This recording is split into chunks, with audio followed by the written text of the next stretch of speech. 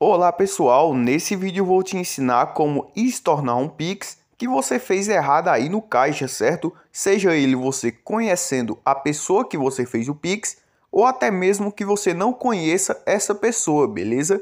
Bom pessoal, a primeira dica que eu vou estar te dando caso você fez um Pix errado para uma pessoa que você conhece, você vai estar entrando em contato com essa pessoa, beleza? E após você entrar em contato com ela, recomendo que você mostre o comprovante e explique a ela tudo direitinho que você acabou enviando um dinheiro por engano. E fazendo isso, eu acredito que você vai conseguir resolver o seu problema.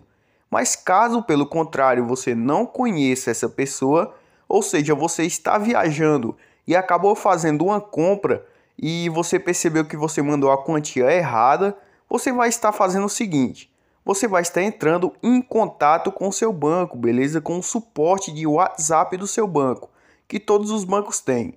Então, para a gente entrar em contato com o banco do Caixa pelo WhatsApp, é muito simples.